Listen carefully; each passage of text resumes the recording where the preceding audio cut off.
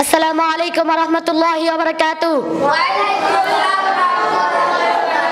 إن الحمد لله وحده والصلاة والسلام على من لا نبي بعده أما بعد فأعوذ بالله الشيطان الرجيم بسم الله الرحمن الرحيم يا أيها الذين آمنوا إذا نودي للصلاة من يوم الجمعة فاسعوا إلى ذكر الله وذروا البيع সকল প্রশংসা সে মানবুল আলমিনের জন্য যার অশেষ মেহরবানিতে আমরা প্রতি সপ্তাহে নয় সপ্তাহ আঞ্জুমানে উপস্থিত হতে পেরেছি সকলেই বলি আলহামদুলিল্লাহ দুরুদ ও সালাম মসজিদ হোক আমাদের প্রিয় নবী শ্রেষ্ঠ নবী মোহাম্মদ সাল্লাল্লাহু আলাইহি সাল্লামের উপর সকলেই বলি আল্লাহুম্মা সাল্লি আলাইহি আল্লাহুম্মা বারিক আলাইহি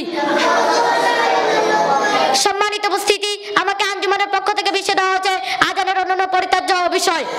আমি যেন আমার বিষয়টি ভালোভাবে বলতে পারি, ইনশাআল্লাহ সম্মানিত উপস্থিতি, জুমার দিনে এবং অন্যান্য সালাতে, বিশেষ করে ফজর আজানের আগে ও পরে বিভিন্ন মসজিদে মাইকে বলা হয়, বিসমিল্লাহি আসসালাতু ওয়াসসালামু আলাইকা ইয়া রাসূলুল্লাহ, ইয়া হাবিবাল্লাহ, ইয়া রাহমাতাল লিল আলামিন। এভাবে রাসূলুল্লাহ সাল্লাল্লাহু আলাইহি সাল্লামকে সালাম দেওয়ার পরে সরাসরি আল্লাহকে সালাম দিয়ে বলা হয়, আসসালাতু ওয়াসসালামু আলাইকা ইয়া রাব্বাল আলামিন। এটা বেদাত তো বটেই, বরং চরম মূর্খতা কারণ আল্লাহ নিজেই সালাম, তাকে কে সালাম দিবে? তাছাড়াও হাদিসে আল্লাহকে সালাম দিতে নিষেধ করা হয়েছে আজানের পরে পুনরায় আসসালাতু রাহমাকুমুল্লাহ বলে বারবার উচ্চ স্বরে আহ্বান করা হামদ না তাসবিহ দুরূদ করম তালাত অথচ কেবলমাত্র আজান ব্যতীত এর সময় বাকি সবকিছুই বর্জনীয়।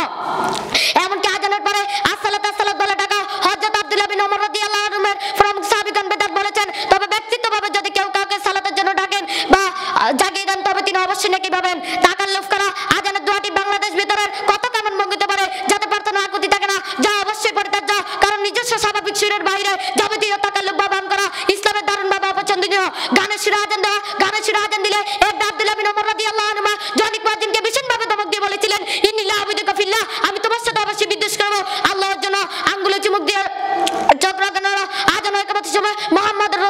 শুনে বিশেষ দশ আঙ্গুলে চুমু দিয়ে চক্র গানো আজান শেষে দুই হাত তুলে আজানের দোয়া পড়া কিংবা তা উচ্চ স্বরে পাঠ করা, ও মুখে হাত মোছা ইত্যাদি স্বাভাবিক কোনো ভিত্তি নেই।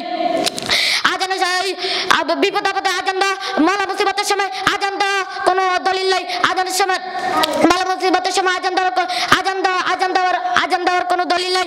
আজান শুধু সালাতের জন্য নির্দিষ্ট, অন্য কিছুর জন্য নয়। এত দুইটা ফজরের আজানের আগে বা পরে মাইকে উচ্চ স্বরে কোরআন তেলাওয়াত করা ওয়াজ করা ও মানুষের ঘুম নষ্ট করা রোগীদেরকে কষ্ট দেওয়া রোগীদেরকে কষ্ট দেওয়া ও তাহাজ্জুদ সালাতে বিঘ্ন সৃষ্টি করা অন্তত গুনাহের কাজ তাই আমি পরিশেষে বলতে চাই যে আমাদের সমাজে ইসলামী বিভিন্ন বিষয় নিয়ে বিভিন্ন ধরনের বেদাতি, মারাত্মক ও অকুসংসার প্রচলিত আছে। যা অন্তত গুণের কাজ। আল্লাহ তাহলে আমাদেরকে ভালোভাবে করুন হাদিস বুঝে তার উপর আমল করার তৌফিক দান করুন। আমিন। ওয়াখির দাওয়ান আলহামদুলিল্লাহ রবিল আলমিন। মা আসসালামু আলাইকুম রহমতুল্লাহ বারাকাতুহু।